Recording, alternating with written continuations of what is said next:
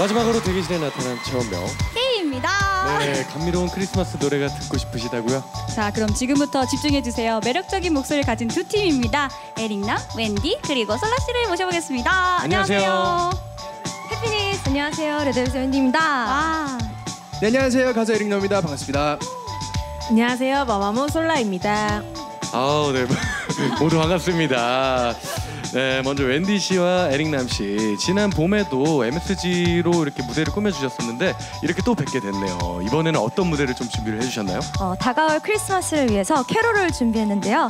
Have Yourself a Merry Little Christmas라는 곡을 준비했습니다. 어, 감미로우면서도 리드미컬한 곡이라서 되게 매력적인 곡이고요.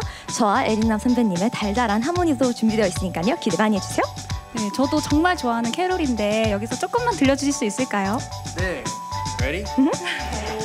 Have yourself a merry little Christmas. 거기까지만 와. 들려드리겠습니다. 아, 네. 너무 좋네요.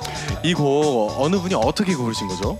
어, 사실 어, 크리스마스 노래들이 쭉 보다가 어, 작년에 어, 재작년인가 웬디 씨가 낸 그 이 노래 멋진 편곡이 되어 있는 노래를 냈더라고요. 그래서 이번엔 듀엣 버전으로 재즈 편곡으로 한번 준비해봤습니다. 아, 그리고 제 옆에 여기 여신님이 나타나셨습니다. 솔라 씨 어떤 무대를 준비하셨나요?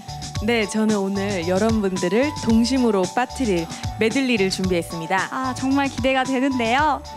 Do you wanna build a snowman? Come on, let's go play. 와, 애니메이션 같아요. 아, 정말요? 네. 감사합니다.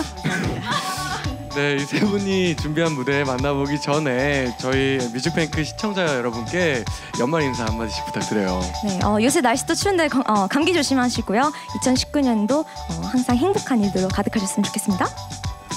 네, 어, 2019년 화이팅 하시고 Merry Christmas Happy New Year 행복하시고 건강하세요.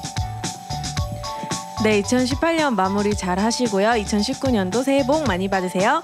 여러분 모두 메리 크리스마스!